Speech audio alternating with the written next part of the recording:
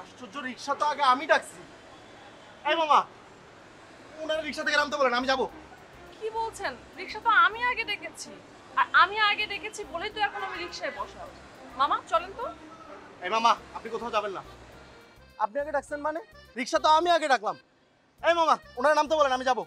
আপনারা কই যাবেন? আট নাম্বার সেক্টর সেক্টর। আশ্চর্য! আমি আট নম্বর সেক্টরে যাব আপনাকেও আট নম্বর সেক্টরে যেতে হবে? আরে আমারও তো একই প্রশ্ন। আমি আট নম্বর সেক্টরে যাচ্ছি বলে আপনার কেন আট নম্বর সেক্টর যেতে হবে? কেন? আর কোনো সেক্টর নাই। তিরিশ নাম্বার চল্লিশ নাম্বার পঞ্চাশ নাম্বার কোনো সেক্টর নাই। সেগুলো তো জান না। সেইখানে আপনি যান আমি আট নাম্বার সেক্টরেই যাব নামেন রিক্সা থেকে। তাহলে একসাথেই চলেন। মামা আমি ওনার সাথে কেন যাব? আমি ওনাকে চিনি না জানি না ওনার সাথে আমি রিক্সা শেয়ার করতে পারব না মামা। আপনি চলেন। আমিও আপনার সাথে রিক্সায় শেয়ার করতে পারব না বাবা। এই মামা ওনার নামতে বলেন তো আমি যাব। যে মানুষ মেয়েদেরকে সম্মান করতে জানে না সে মানুষের কাতারে পড়ে না।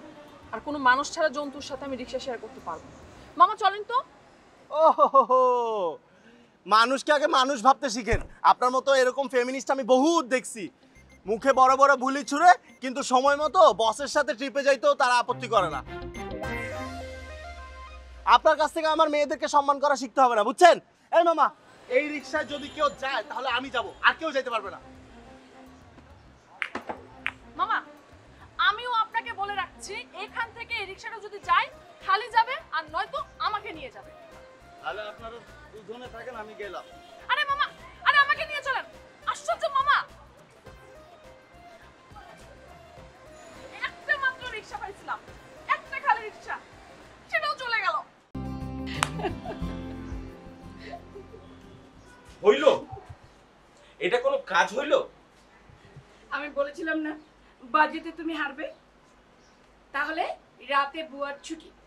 আজকে ডিনার শেষে ডিশ ওয়াশ এবং কিচেন ক্লিন করার কাজ তোমার।